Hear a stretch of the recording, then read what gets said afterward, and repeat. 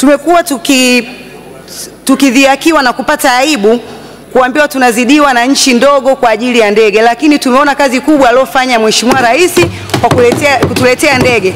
Tumeona upande wa pili walikuwa wanasema shirika limekufa likafufuliwa, tumeletewa ndege, wakawa wanasema ndege hazijaja. Sasa hivi ndege zimekuja, wameingia wanasema kuna ufisadi katika manunuzi. Jamani, hivi hawa watu wanataka nini? Lakini sisi tunamwambia rais wetu afanye kazi, kwa sababu kelele za chura hazimzuii ng'ombe kunywa maji. Vile vile tunajua kabisa mwanaume wa Kisukuma amewashika pabaya, na bado itakapofika mwaka elfu mbili na ishirini wataendelea kulialia kwa Watanzania, ndo hapo Watanzania wataamua watafata machozi au watamrudisha mwanaume wa Kisukuma, amewashika pabaya. Mheshimiwa Mwenyekiti, naomba moja kwa moja nielekeze mchango wangu katika uwanja wa ndege wa Arusha.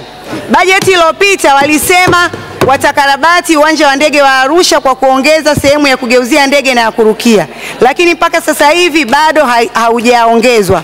Lakini tumesahau kuwa Arusha ni jiji la kitalii na watalii wengi wanatumia ndege zetu kwa ajili ya kuingia na kutokea Arusha. Kwa hiyo tumekuwa tukikosa mapato mengi ya kwa ajili ya watalii wetu ambao wa, wanaanzia Dar, wanaanzia Kia huku Arusha kwa, kwa ajili ya watalii ambao wanaenda kwa ajili ya kanda ya kaskazini ikiwemo na Arusha. Kwa hiyo nilikuwa naomba sana Mheshimiwa Waziri aniambie bajeti mwaka jana kulikuwa kuna uwanja wa ndege wa Arusha, lakini sasa hivi sijaona kabisa.